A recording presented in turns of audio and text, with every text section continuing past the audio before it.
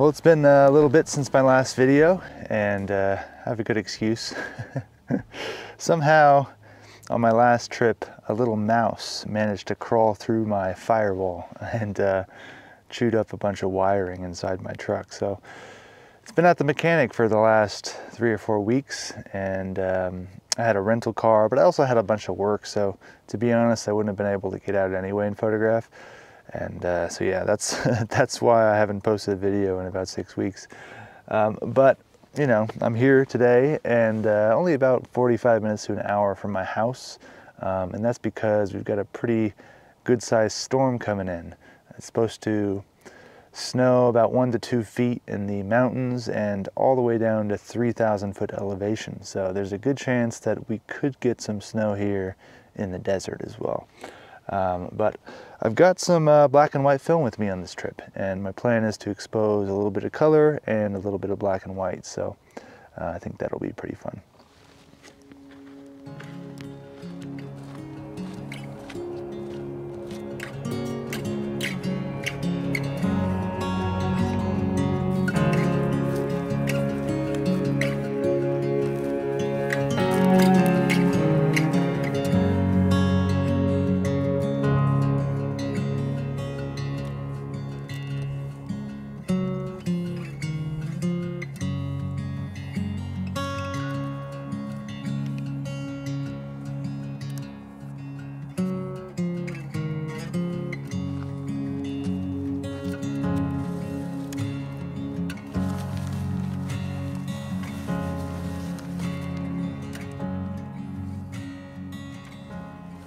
Well, I've got this shot here set up with my 240 millimeter, which is a little bit of a wider lens on 8x10, not too wide.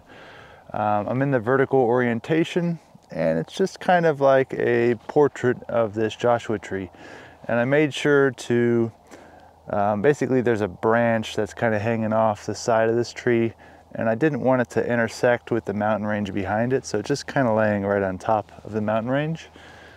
And I think I'm gonna shoot a sheet of black and white on this. Um, the, there's no real color to the sunset and a lot of times I like shooting uh, black and white in really soft light. So this will be a, this will be a perfect opportunity to do that.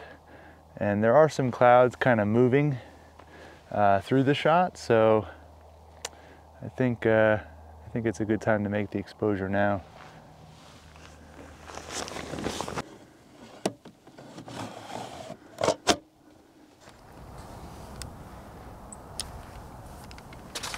All right, well, it's getting pretty dark. Six seconds, F45. It's gonna be a 30 second exposure. Um, but with FP4, reciprocity is gonna be uh, pretty bad. So let's see. Yeah, it's gonna be a three minute and 20 second exposure. so I'm gonna I'm gonna get this exposure going.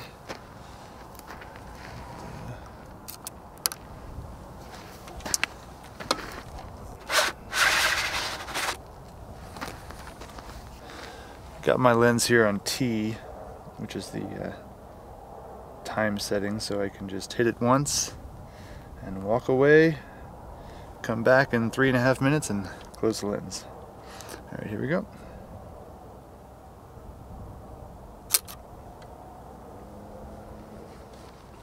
It's a little tricky when you get into these really long exposures because, you know, as it's exposing, reciprocity time starting to kick in and the light's getting darker and darker. So sometimes I'll just overexpose it a little bit, uh, even more than what it says.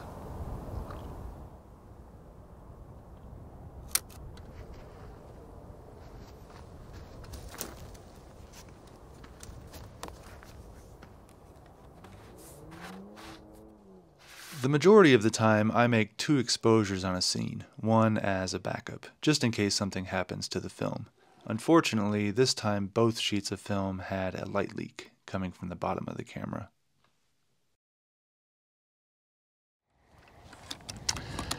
Well, I'm not really expecting much out of that photograph, but either way, it was, it was fun to make an exposure. And I know tomorrow I'm not really going to get a chance to because it's, it's going to be uh, raining all day. So anyway, I'm going to get things packed up and I'll see you in the morning.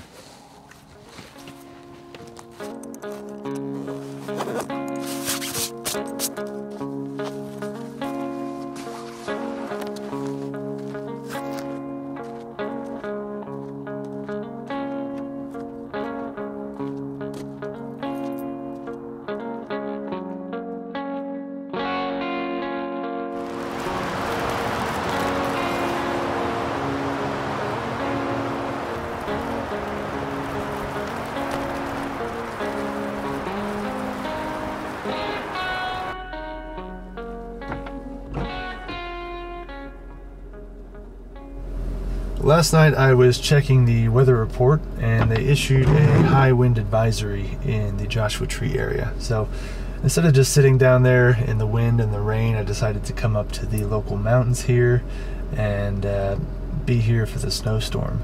So it's only like 10 minutes from my house, but I'm at this uh, juniper tree that I've had my eye on for quite a while. It's a pretty gnarly looking tree. It was hit by lightning and there's this limb that's kind of growing off the side of it. And I like how it's kind of hugging the rose, so it gives me a little bit of a leading line for this shot. Um, but last night I was thinking about, you know, as far as how this year's gone for photography and setting goals. Um, at the beginning of each year, I set a personal goal to expose 100 sheets of film. And that kind of keeps me motivated each month to expose at least, you know, 10 sheets at least. At the end of the year, most years I, reach that goal, but I was tallying up my sheets this morning and I'm at 98 exposures. So um, I'll probably finish off my 100 on this tree right here. So that's kind of cool. But I'm just gonna wait for this uh, storm to hit. It's just starting to flurry around here and I'll probably come back this evening to hopefully a completely white scene and uh, photograph this in black and white.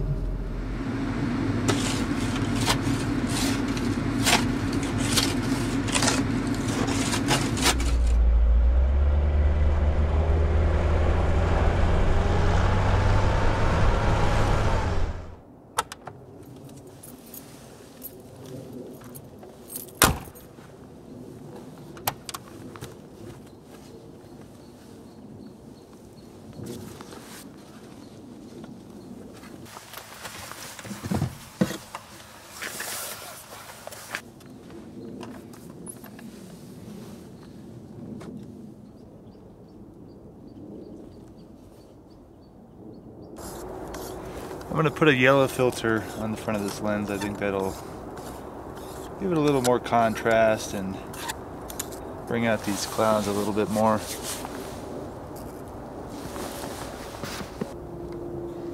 For those of you wondering, this is a uh, Cokin X Pro filter holder. It's the only one I found that's large enough to fit over these um, big lenses. These are pretty much the exact conditions I was hoping for, so that's good. Didn't quite get as much snow as they forecasted, but still got some pretty good snow.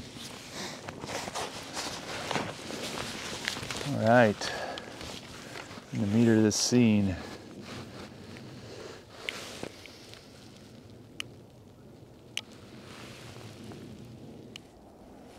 Yeah, so with reciprocity, it's five seconds.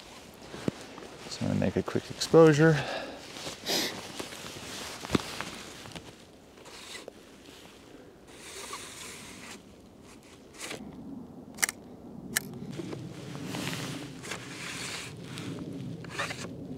Getting some nice light on the top of the tree right now. So I'm gonna quickly make another exposure.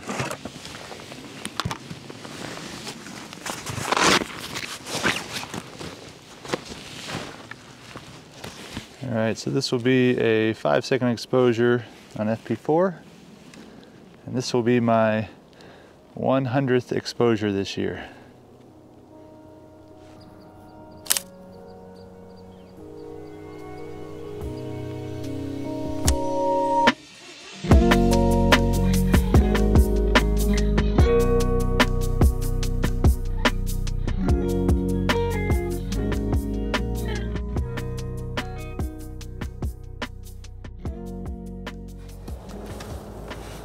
All right, well, overall, that was uh, pretty much exactly what I was hoping for.